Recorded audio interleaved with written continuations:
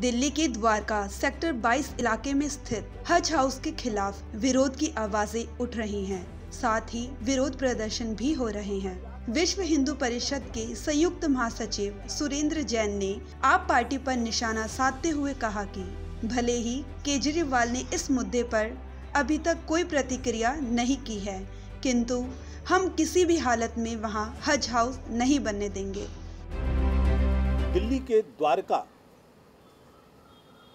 उसमें एक बहुत ही संवेदनशील स्थान पर, सरकारी ज़मीन पर, सरकारी पैसे से वहाँ के लोगों के विरोध के बावजूद हज हाउस बनाने का षड्यंत्र हो रहा है।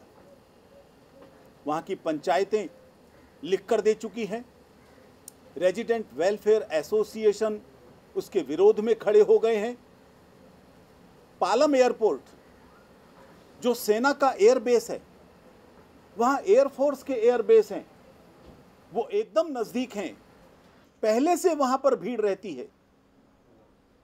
कितना ट्रैफ़िक जाम होगा, जब वहाँ पर बसें आएँगी मेवात से या अन्य इलाकों से, उसकी कल्पना मात्र ही सिहरा देने के लिए, रोंगटे खड़े कर देने के लिए पर्याप्त है। लेकिन इतने विरोध और इतने संवेदनशील स्थान पर होने के बावजूद केजरीवाल सरकार की कानों पर जू तक नहीं रहेंगी है। इन्होंने इस विरोध को रेस्पॉन्ड भी करना उचित नहीं समझा है।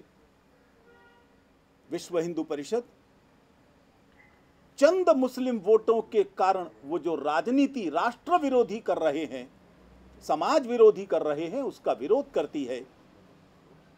और आज घोषणा करती है किसी भी हालत में वहाँ हज हाउस नहीं बनने दिया जाए। एक एक ईट उखाड़ कर ले जाएगी वहाँ की जनता, लेकिन वहाँ पर हज हाउस नहीं बनने दिया जाएगा।